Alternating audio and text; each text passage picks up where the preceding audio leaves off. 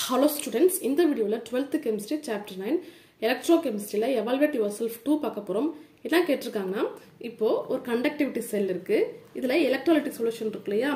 இதனுடைய normality N one is equal to zero point one five நார்மாலிட்டியாக இருக்குது சரிங்களா?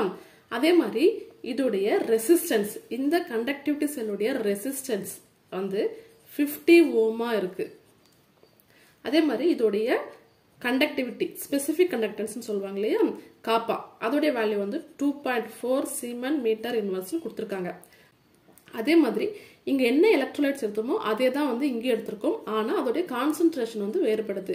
இதுக்கு பார்த்தீங்கன்னா ஜீரோ பாயிண்ட் ஃபைவ் நார்மாலிட்டியாக இருக்குது இதோடைய ரெசிஸ்டன்ஸும் கொடுத்துருக்காங்க ஆர் டூ இங்கே ஆர் ஒன்று எடுத்தாலும் இங்கே ஆர் டூ எடுத்திருக்கோம் அவ்வளோதான் ஃபோர் ஹண்ட்ரட் எயிட்டி ஓமாக இருக்குது அப்படின்னா இந்த சொல்யூஷனுடைய ஈக்குவலன் கண்டக்டிவிட்டி என்ன அப்படிங்கிறது தான் question first equivalent conductivity formula தெரியணும் இல்லையா? So lambda is equal to kappa kappa அப்படிங்கிறது இந்த இடத்துல வந்து இந்த சொல்யூஷன் நம்ம கண்டுபிடிக்கிறோம் இல்லையா? ஸோ இது காப்பா ஒன்னு வச்சுக்கிறதுனால இந்த சொல்யூஷனுடைய காப்பா வந்து காப்பா டூன்னு வச்சுப்போம். காப்பா டூ வேல்யூ வந்து கொடுக்கல நம்ம கண்டுபிடிக்கணும். ஸோ காப்பா டூ யூனிட் வந்து siemens metre inverse into ten power of minus three gram equivalent inverse metre cube divide by normality normality அப்படிங்கிறது ஜீரோ பாயிண்ட் ஃபைவ்னு கொடுத்துருக்காங்க தெரியும். காப்பா டூவுடைய வேல்யூ வந்து கண்டுபிடிக்கணும் இல்லையா? நமக்கு ஸ்பெசிஃபிக் கண்டக்டன்ஸ் அதாவது கண்டக்டிவிட்டின்னு சொல்லுவாங்க. காப்பா வந்து reciprocal of resistivity so one by ரோன்னு இருக்கும். சரியா?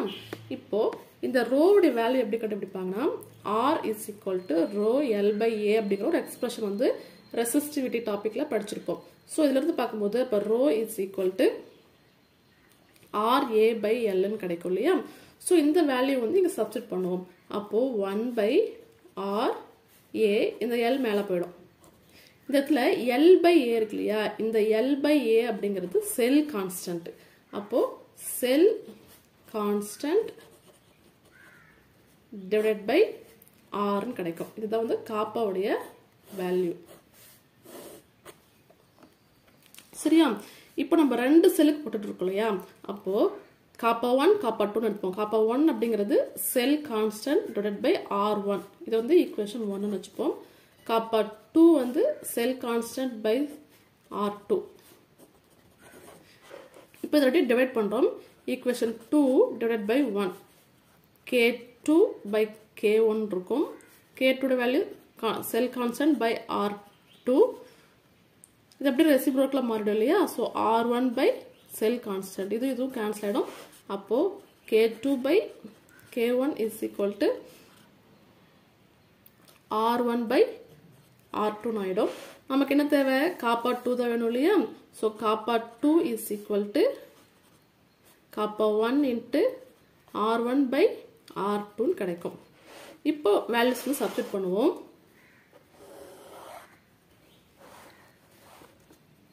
காப்பா two is equal to Kapa ஒன்னுடைய value என்னது?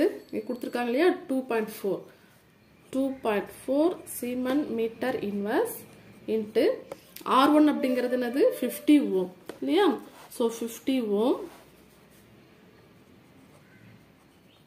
divide by இது வந்து four eighty ohm four eighty ohm.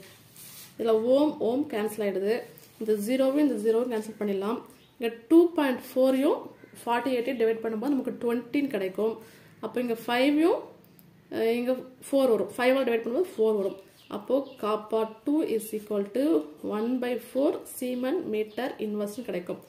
One by four அப்படிங்கிற வேல்யூ என்னது? K two is equal to sorry kappa two is equal to zero point two five siemens metre inverse இதுதான் வந்து காப்பா two உடைய value so அதை வந்து இங்கே substitute பண்ணுவோம். Zero point two five siemens metre inverse into ten power of minus three gram equivalent inverse metre cube divide by zero point five சரியா? இப்போ இதுங்க டிவைட் பண்ணும்போது ஜீரோ பாயிண்ட் ஃபைவ்னு ஆகும். இல்லையா? இதை ஹோல் நம்பராக மாற்றிப்போம் அப்போது lambda is equal to whole நம்பரை மாற்றும்போது five into ten power of minus one இருக்கும். ஆல்ரெடி மைனஸ் த்ரீ இருக்குது so ten power of minus four ஆகிடும் சீமன் இங்கே மைனஸ் ஒன் இருக்குது இங்கே கியூப் இருக்குது ஸோ மீட்டர் ஸ்கொயர்னு ஆகும். கிராம் இருக்கும். Equivalent inverse so the equivalent கண்டக்டிவிட்டியுடைய value